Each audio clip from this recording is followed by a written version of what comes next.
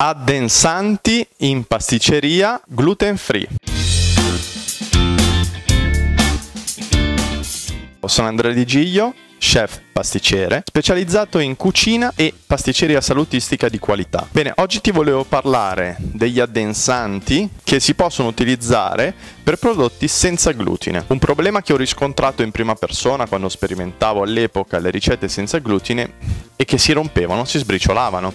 Si faceva una pasta frolla, ma poi quando andavi a lavorarla si rompeva, andavi a fare un biscotto e si sbriciolava troppo. E tutti questi problemi che ho voluto risolvere piano piano andando a costruire appunto delle, delle, delle ricette, degli ingredienti da andare a inserire nella ricettazione proprio per andare a mimare l'effetto del glutine e ottenere un prodotto plastico. Sicuramente, ad esempio, nella pasticceria salutistica per le paste frolle, per mimare l'effetto plastico abbiamo tre ingredienti principali che sono la gomma di guar, ad esempio se andiamo a fare una pasta frolla, se vogliamo utilizzare la gomma di guar, tendenzialmente un 2% della gomma di guar su un chilo di pasta frolla è più che sufficiente per avere un effetto plastico. Possiamo aumentare fino al 5% per avere veramente una grande plasticità e una facile realizzazione dei prodotti che vogliamo fare. Ad esempio un altro ingrediente che possiamo utilizzare è la xantana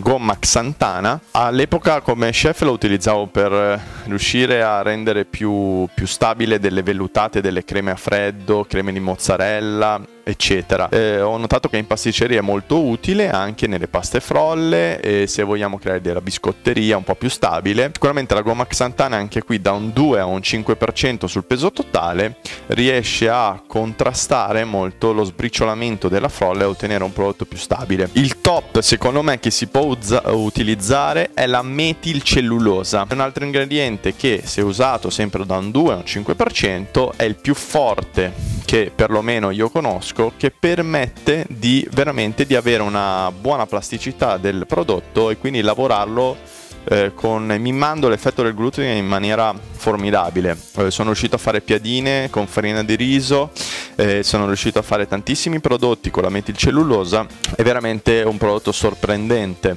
Il problema è il prezzo perché costa molto, ma se ne usa poca comunque.